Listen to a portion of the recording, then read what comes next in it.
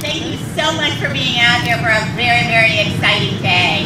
Um, it's the first time, as you can see, I was just mesmerized. I was back there, but um, we're so excited. We're getting very, very close to a dream that we've had for the last couple of years to actually bring Henri Starlite Scoops to fruition. As many of you know, uh, ice cream has been an integral part of Give Kids World in the Village since the very beginning, since the village was built back in 1989. Of course, Give Kids World started in 1986. The village opened in 1989 with only eight villas. Fast forward now, 33 years later, oh my goodness, we've got 166 villas and continuing to grow. Uh, but we wanted to find a way, you know, we lost our founder last year, in April of last year, and I've always wanted to find a way to um, create a testament to his ongoing love and generosity and compassion for the very special children that Give Kids World brings from literally every state and 76 countries around the world. And when you think about Henri's roots and his background and how Give Kids World actually got started, the best way to do it was with a space theme. Uh, we're very excited for so many reasons. Of course, when we very first started, we served ice cream out of an actual caboose. And because of the growth of the village, we had to find several different places for that caboose to go.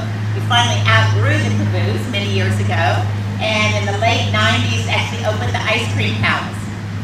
And then, of course, when Henri, um, you know, we wanted to find a testament to Henri, we decided that we wanted to do something that really highlighted his early career. And as many of you may or may not know, um, Henri was the general manager of the Starlite Hotel over on the Cape during those early pioneering days of space exploration.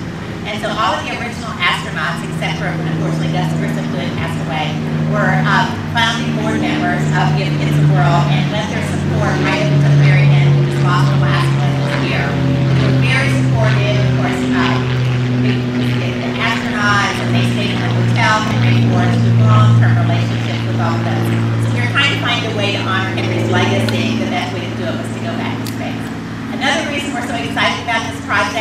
course, it's the first time that Universal and Walt Disney World have come together creatively to create anything. And I think that's a true testament to the spirit of the village and recognize that there might be a lot of competition outside of the gates of the village, but there's no competition inside. And corporate partners from all over come together, no matter um, if they're competitors on the outside, and do anything that they can to create magical experiences for the village. So when you think about the creative departments of Disney and Universal coming together to create this, it's absolutely incredible. Of course, we want to create a, um, an atmosphere where the guests come down and they just get yes, the answer to everything. You want a banana split for breakfast? You want one for dinner? You want one right before you go bed? Absolutely.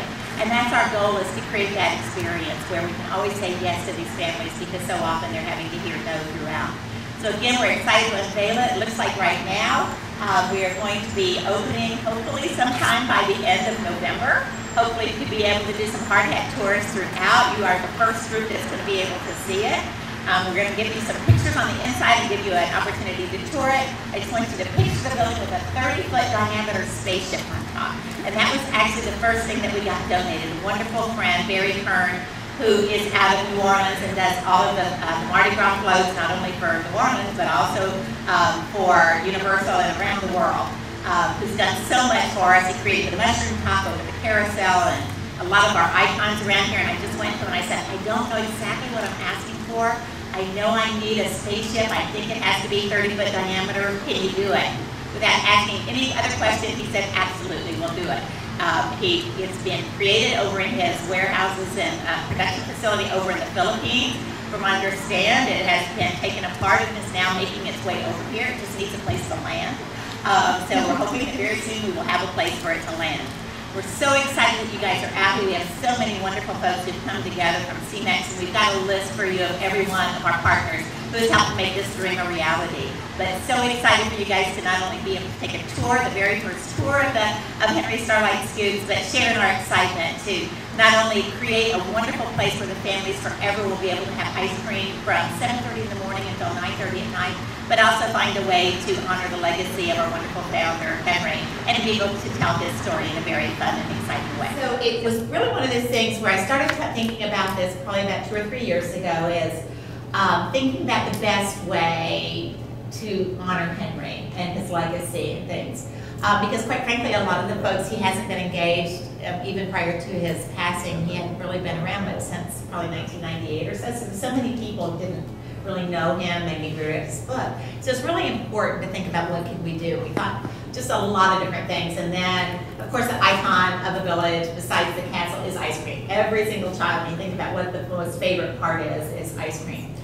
And um, so what we did was then I went, of course, to Disney and Universal and said, I want to do something. And uh, I'm not really sure what it is, didn't have any idea, but I said, if you could kind of put together three concepts and let us choose from what those concepts would be. And um, first of all, getting Disney and Universal to work together, I mean, that's such, I mean, and it wasn't, wasn't hard at all. I mean, they were both so very excited about coming together to work on this project that's so near and dear to their heart. So that was the first really positive. And they came up with three different scenarios, three different storyboards, if you will. And each one of them was, I mean, it's, I mean, it's just over the top. I mean, they were just absolutely incredible. But then, of course, when we saw this one about space, it just resonated. The other two were great, but you actually had to make up a story. You know how people do stories, and sometimes you have to take a lot of poetic license and write a story about why we picked this theme and how this theme came to be. You didn't have to make up a story for, for the space because it was Henri's story. And so I, it was just, it was just like a no-brainer. Um, and so then, you know, we got a lot of folks involved. AECOM is another big partner they're doing, you know, they did all the design and, and those kinds of things. So it's just, that, that was it. I mean, literally, you just look at it and go, no, that's the one, that's the one. And then to see the people like to go to Barry Kern, really, literally, after I got it and said, boy, they've got, they've designed the spaceship on top. And he said, well, tell me about it. And I said, all I know is it's 30 feet in diameter. He said, okay, we'll do it. I mean, that's amazing. I mean, really, when you think about it, it's just amazing what people will do to, to, to be part of this and to remember it. And, and, and um, you know, it just goes back. So I don't even know if you know this story because Again, we serve ice cream starting at 7.30 in the morning. So when we did the caboose and when we first opened the ice cream palace, it, we just did it at night because as you see, most of the families are gone during the day. They're out enjoying the parks. A little bit more down during the summer, you'll see them around the pool and things because uh, you've been to the parks in the middle of the day. crazy, like really crazy. Um, so I was actually, so we, when the ice cream palace opened, for the longest time, we were just opening it in the evenings, you know, right after dinner. So I was sitting in there one morning, I was actually trying to hide because I had so much work to do. Phones were going crazy, so I said, I need a quiet place just to think. And so I went over to the ice cream palace and I unlocked it and I went in and locked it behind me and I was just sitting there, just it was like 7.30 in the morning, I was just trying to get a lot of stuff done. And I heard this little tapping on the window. And I turned around, there's this little boy on his tiptoes, and he said, are you open? And I looked instinctively at my watch, which I can't wear a watch, and so I'm just like, okay, I don't know what time it is. But I said, wow, um, sure, come on in. Where are your parents first? and okay. And um, I said, well, what can I get you? And he said, I want a banana split. I said, okay. And so I think by this time it was like 8 o'clock in the morning and I opened the doors, and once I opened the doors, people just started coming in, literally. I was back there and didn't even have time to like call for help. I need help. We're getting overrun. And so I just, I got the team together right after that, kind of everybody by 10 o'clock was out enjoying the parks and stuff, and I said, tomorrow morning, we're starting to open at 7.30 in the morning, we're gonna go straight through till 9.30 at night. And they just embraced it immediately.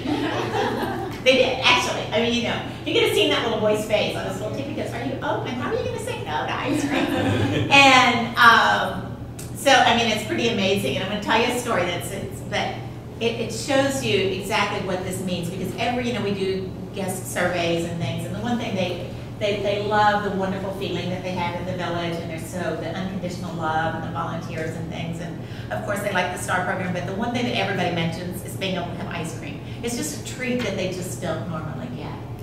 And and, and we know they appreciate it we know that they love it but we um, I heard this story about four years ago and um, of course we've served 175,000 families now and we don't know the fate of every child. We'd love to think that you know, you've heard about our little Princess Alyssa, who was here back in 2001 at three years of age and um, had stage three kidney cancer, a Wilms tumor, and was not, she was on hospice care and wasn't expected to survive. And she went back, she was here over Christmas, and she went back and told her doctor, if you want to make kids well, don't give them shots anymore, send them to Give Kids the World, it's magic medicine. Um, she's now in her third year at University of, White, of Wisconsin Whitewater And she will get up and she'll tell you the reason that she's here today is because Give Kids the World gave her hope. So, you know, and, and we hear other stories like that. That's a pretty amazing story.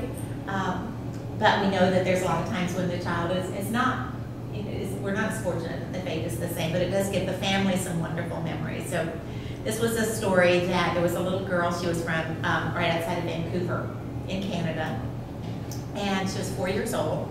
And they basically they had done everything and so they the family friend was a minister, and they brought the minister over to talk to this little girl, and just kind of just see what's on her mind. And he sat down and he said, "So, do you ever think about heaven?"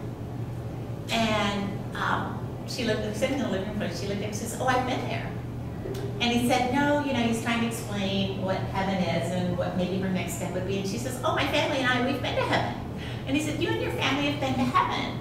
And um, she said, yes, it's in Florida. and then she said, and do you want to know a secret? They let you have ice cream for breakfast.